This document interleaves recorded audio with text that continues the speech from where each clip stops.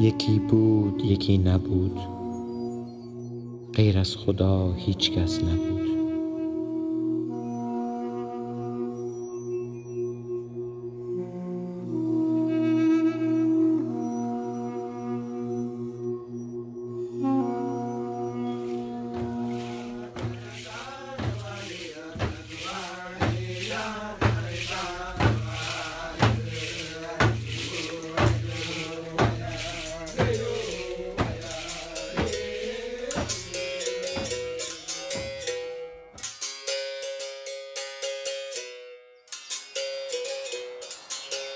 Essa esperança, né, isso que eu sentia dentro de mim, eu jamais ia imaginar que era uma mensagem de alguém que viveu no Irã e viesse espalhar em Iranduba e eu seria uma das privilegiadas de reconhecer a mensagem de Bahá'u'lláh, né, que veio de tão longe e veio para esse pedacinho aqui de, de Iranduba, né?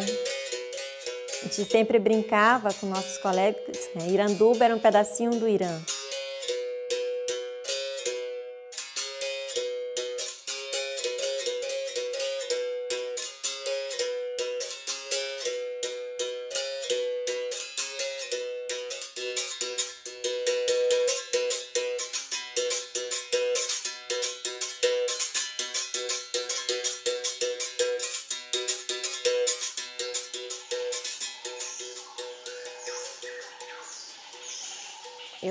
Nasci na Ilha da Maria Antônia, né? A nossa família, meus pais, agricultor e além disso tinha outra profissão como pescador, né?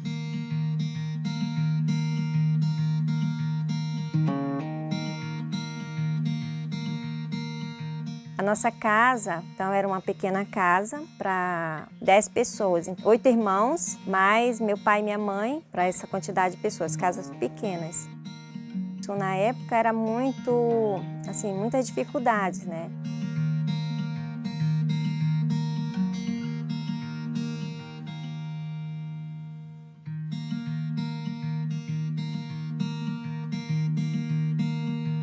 E assim, a nossa rotina era trabalhar, né, capinar, plantar, roça, milho. E a maior dificuldade deles era para quem vender. As pessoas que queriam iam lá para comprar, eles cobravam muito barato, né? era muito trabalho e eles acabavam praticamente dando os produtos deles para, às vezes até em troca de alimentos, para poder a gente continuar trabalhando, né? sustentando a família. Né? As dificuldades eram muitas, né? Muitas dificuldades assim, mas era assim, tinha uma vida feliz, né? Porque a gente estava sem direção, né? O que fazer na vida, né? Não temos para onde ir. Como que, o que que nós vamos fazer daqui para frente, né? Só que sempre a gente tinha uma preocupação, né? Do qual seria o nosso futuro, o que que, que nos esperava pela frente.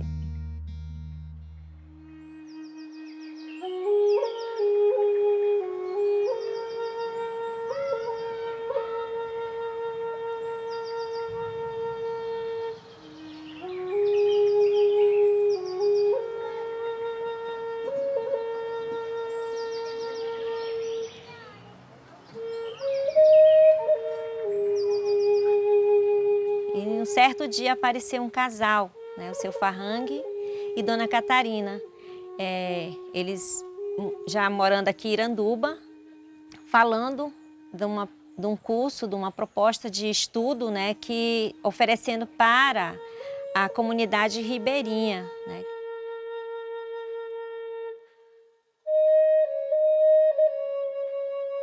Eu conquistei é, meus estudos, Casei, formei uma família, tenho três filhas. Todas as pessoas que me conhecem percebem um grande diferencial e isso é uma grande transformação.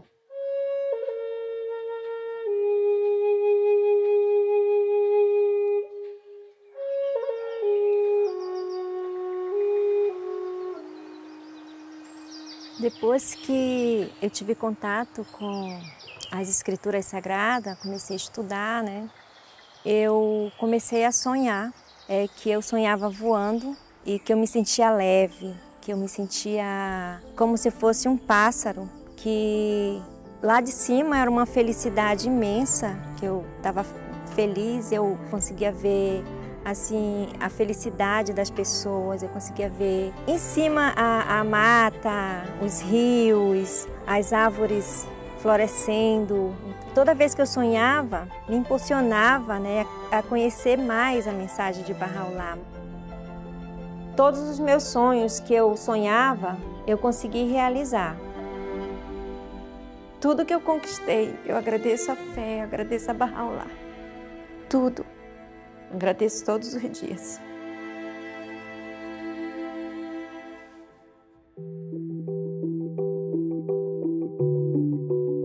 The writings of Baha'u'llah are incredible.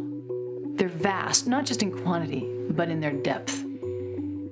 And it's very bizarre to be this Canadian who is deeply invested in these writings of Baha'u'llah. As a writer, as a creator, as a theater artist, as an educator, they provide me with a profound source of guidance, an invaluable source of inspiration.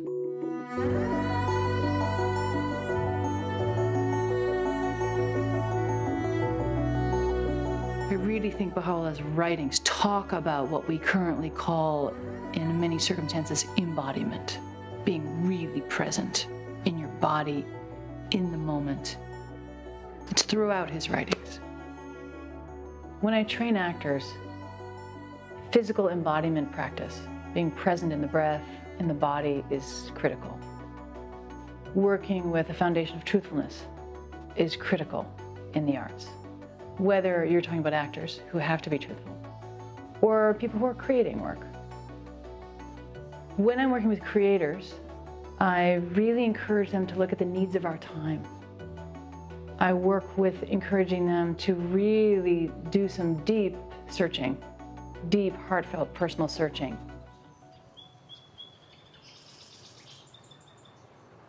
Baha'u'llah's writings encompass practical, spiritual, day to day principles that are critical for the practice of the artist, for the practice of anyone, really. At this time in particular, when things are so hard, it's hard to know what it means to be an artist. Why make art? Why? But the Baha'i writings give me hope because it speaks about the importance of the arts, the role of the arts. And I think our materialism has made us lose faith that the arts have any role at all. So even though it's hard, I keep because of Baha'u'llah, because of the inspiration from those writings, and because of the standard that he holds us to, I keep making art.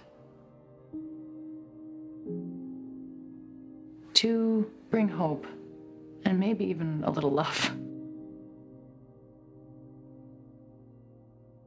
I feel so blessed to be a Baha'i, to have found this religion from Iran uh, personally blessed. And, and in terms of it's given me a calling, I get to use the principles from the Baha'i faith every day in everything that I do. I was just um, visiting my sister yesterday, and she's also a Baha'i. And we were laughing, talking about whether we would even be alive if we weren't Baha'is. Because it has given us such guidance and mm, love. It's really simple in some ways.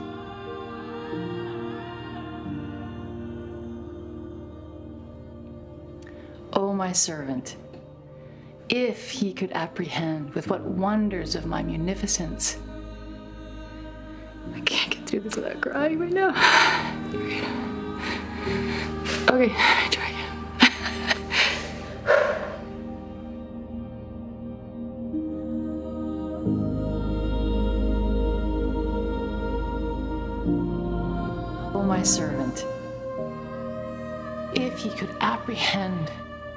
with what wonders of my munificence and bounty I have willed to entrust your souls. Ye would of a truth rid yourselves of attachment to all created things. And you would gain a true knowledge of your own selves, a knowledge which is the same as the comprehension of mine own being.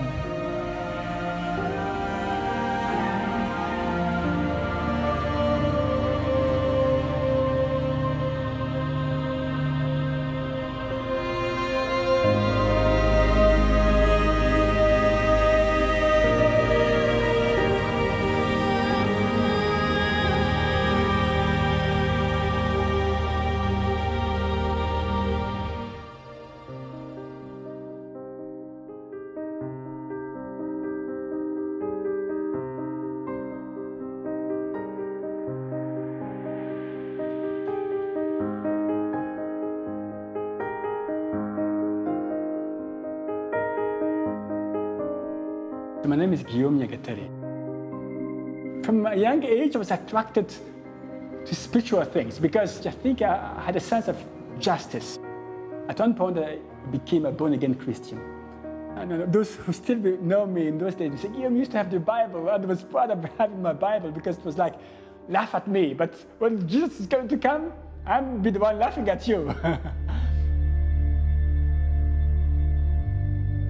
as I was thinking about this, I could realize that something was wrong in this way of thinking because then everybody else except them was the right.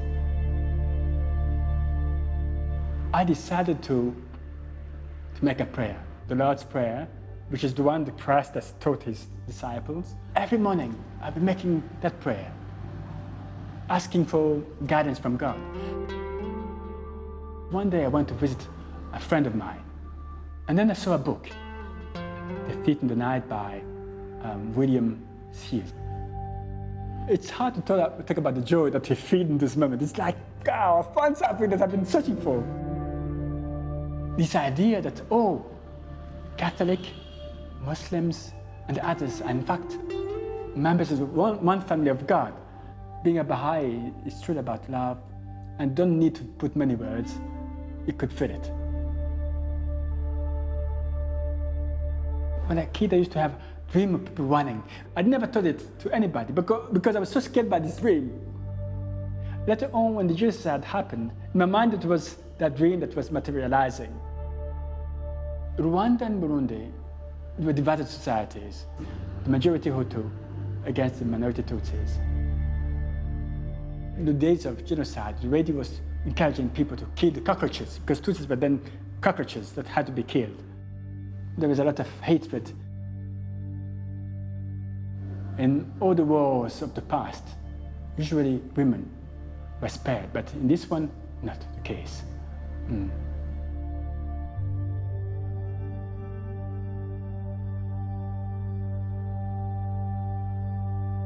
And this, her name was Cecile, she was killed the same time as my stepmother, my younger sister. Her name was Clemence. She was one year older than me. For us to think that we were going to be saved,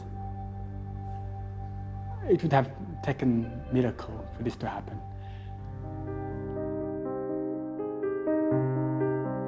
Of course, I was angry. How would you see those people who did this? How would you take them? Should they be killed? Should they pay for whatever they've done wrong? Was a dilemma. It is like, if I don't join the rebellion, who's then going to defend my, my family? Am I going to leave it to somebody else to defend my own family? Early on, I came to understand that revenge is not the way to help them. They have gone. Whichever way they might have been humiliated, where they are in the next world, but how would I compensate in many ways? My worry now was rather, what do I do? So that somehow the next world when we meet, when my father can say, Guillaume, thank you for what you've done.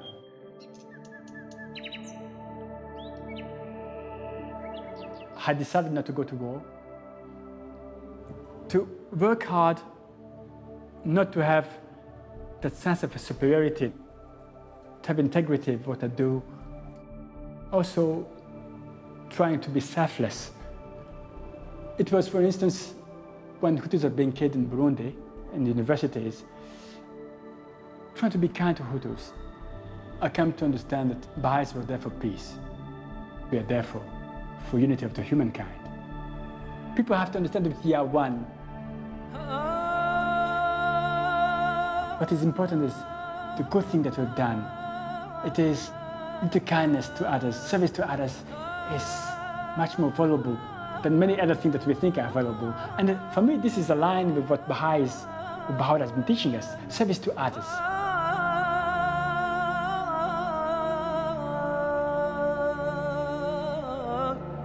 The Baha'i faith has brought me to understand that we are one and to even value that diversity, to get closer to the one that looks different from the way I look. And not to see him as an enemy, but well as a friend. I feel probably that's what I will need to give to those after me. You know, that sense of unity, that we are one.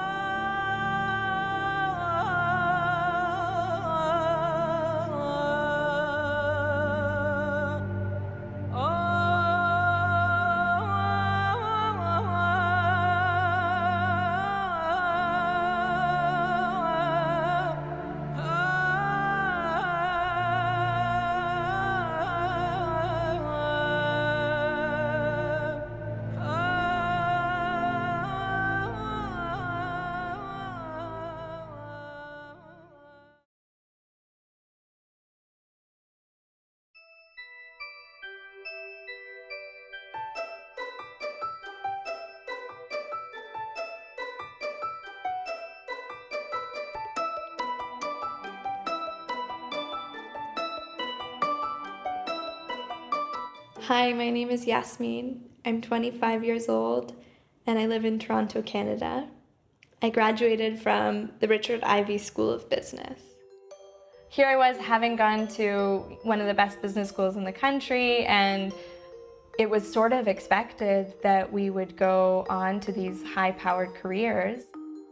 I think, you know, in the last particularly six years, I've seen everyone around me make choices that, you know, in your early 20s you make that shape the rest of your life, really. I was allured by the business world. I was allured by this idea that I could become, especially as a woman, I could become this like high powered businesswoman and I could become, you know, uh, somebody that other people thought of as intelligent and looked to for advice for their companies, for their lives, these kinds of things. That is an alluring concept. Who wouldn't want to go for that, you know? So you get so wrapped up into this this way of thinking, you don't you don't even know how to pull yourself out of it. I started to think, you know, what would it look like to give a period of service? I actually was presented with this big choice, you know?